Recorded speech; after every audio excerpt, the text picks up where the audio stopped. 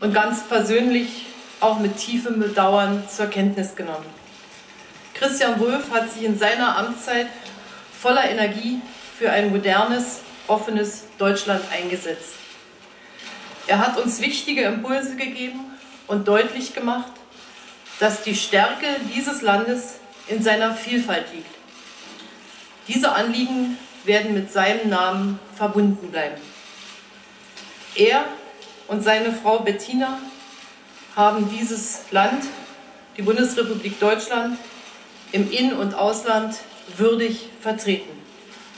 Ich danke beiden dafür und ich bin überzeugt, dafür gebührt ihnen unser aller Dank.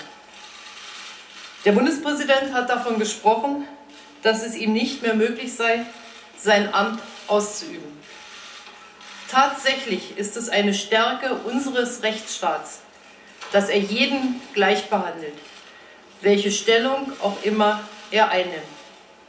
Mit seinem Rücktritt stellt Bundespräsident Wulff nun seine Überzeugung, rechtlich korrekt gehandelt zu haben, hinter das Amt zurück, hinter den Dienst an den Menschen in unserem Land.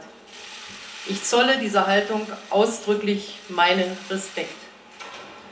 Und in diesem Geiste werden die Parteien, die die Bundesregierung tragen, werden CDU und CSU und FDP sich nun beraten und anschließend unmittelbar auf die Sozialdemokraten und Bündnis 90 die Grünen zugehen. Wir wollen Gespräche führen mit dem Ziel, in dieser Situation einen gemeinsamen Kandidaten für die Wahl des nächsten Bundespräsidenten der Bundesrepublik Deutschland vorschlagen zu können. Ich danke Ihnen. Das war die Erklärung der Bundeskanzlerin. Auch hier keine Nachfragen offen.